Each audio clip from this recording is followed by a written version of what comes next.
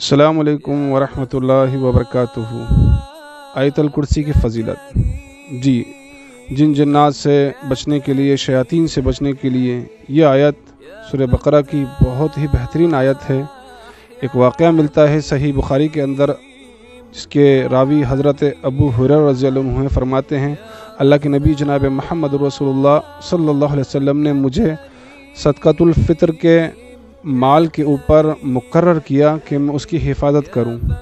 चुनानचे में सदक़ फ़ितर इकट्ठा कर रहा था क्या मैंने क्या देखा कि एक शख्स आया। आने के बाद उसने अपना चादर, अपना कपड़ा बिछाया और लब भर भर कर वो सदक़े की खजूरें उसके अंदर डालने लगा। अबू हुरेरा फरमाते हैं, मैंने उसको पकड़ लिया और कहा कि, तू चोरी करता है। उसने बड़ी मिन्नत समाजतें की, बड़ी माजरत की कि मैं अब नहीं आऊँगा, मुझसे गलती हो गई, अबू हुरेरा छोड़ दूँ। हज़रत अबू हुरेरा रज़ी ने छोड़ दिया। उसके बाद अल्लाह के नबी जनाब महमद रसोल्ला सल्ला वसम से फ़जर की नमाज़ में मुलाकात हुई। अल्लाह के नबी अलैहि से बयान किया वाक़ अल्लाह के नबी अलैहि ने फरमाया, ए अबू हुरेरा, वो फिर आएगा।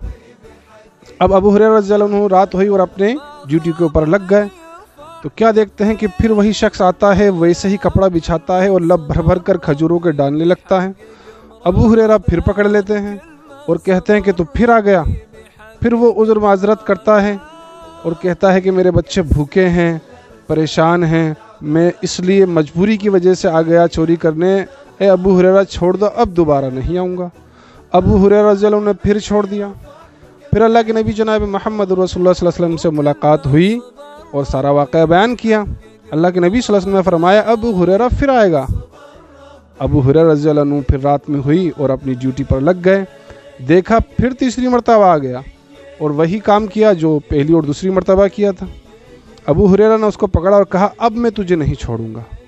उसने कहा कि, ठीक है, अबू हुरेरा मैं तुझे एक ऐसी चीज़ बताता हूँ तुम्हारे किताब में से कुरान में से जिसको तुम पढ़ लोगे तो हमारे सरदारों से भी तुम्हारी हिफाजत हो जाएगी। यानी बड़े से बड़े शैतान भी तुम्हारा कुछ नहीं बिगाड़ पाएँगे तुम्हारे माल की तुम्हारी औलाद की तुम्हारे घर की हिफाजत हो जाएगी।